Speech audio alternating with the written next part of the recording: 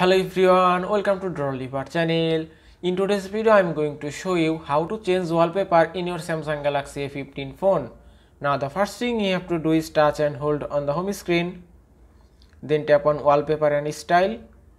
Then tap on change wallpapers. Now from here you can choose any kind of wallpaper. From here you can choose featured wallpaper. Also you can choose wallpaper from your gallery and from here you can set graphical or colors wallpaper. If you want to download more wallpaper just tap on this icon then tap on get more wallpapers. From here tap on top.